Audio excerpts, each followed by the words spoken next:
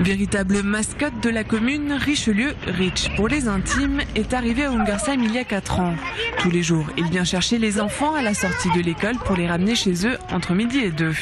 Des enfants ravis qui ne tarissent d'ailleurs pas d'éloges à l'égard de cette brave bête de 800 kilos. C'est un joli cheval et puis il travaille dur, très amusant.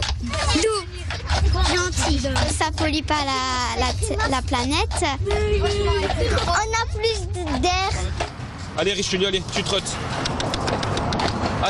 David Sandman est l'un des deux maîtres d'attelage de la commune.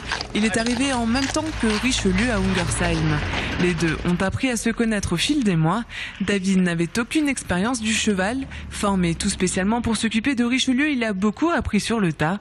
Aujourd'hui, le duo fonctionne à merveille. Le secret La parole. Mais quelques moments forts resteront à jamais gravés dans la mémoire du maître d'attelage. Calme et docile, la plupart du temps, Richelieu a tout de même son petit caractère. Il est une fois parti alors qu'il était attelé. Il est parti tout seul, quoi. S'était fait piquer par, euh, par une guêpe ou une abeille et puis bah, il est parti et puis il est rentré dans, dans ma voiture personnelle. Et puis une autre fois, il s'est couché au plein milieu de la route pendant qu'on était en train de travailler. Il a voulu faire une petite sieste. On en rigole aujourd'hui, mais sur le coup, on rigolait pas trop. Mais bon, tout s'est très bien passé, plus de peur que de mal. Outre le transport des enfants, Richelieu s'occupe également de l'arrosage des fleurs et des espaces verts. Il est prêté aussi au jardin du trèfle rouge pour ramasser les pommes de terre notamment. Richelieu est aujourd'hui un membre à part entière de la commune. Son arrivée entre d'ailleurs dans la logique écologique d'Ungersheim. Il y a 4 ans, il était question de remplacer l'un des véhicules municipaux.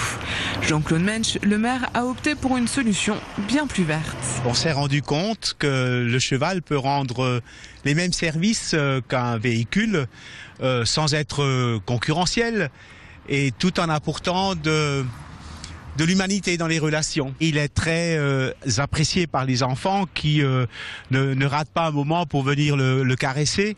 Et voilà, donc euh, là aussi, c'est un, un, excellent vecteur de sensibilisation par rapport à la démarche globale que nous avons entreprise euh, concernant euh, la transition vers euh, l'après-pétrole, vers des modes de vie plus reliés et plus enrichissants. Richelieu a son homologue féminin du côté de Ribeauvillé.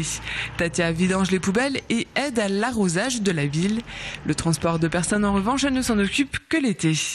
Richelieu, lui, sort par tous les temps, qu'il pleuve, qu'il vente ou qu'il neige. Seul le verglas l'empêche de servir de taxi aux écoliers du village.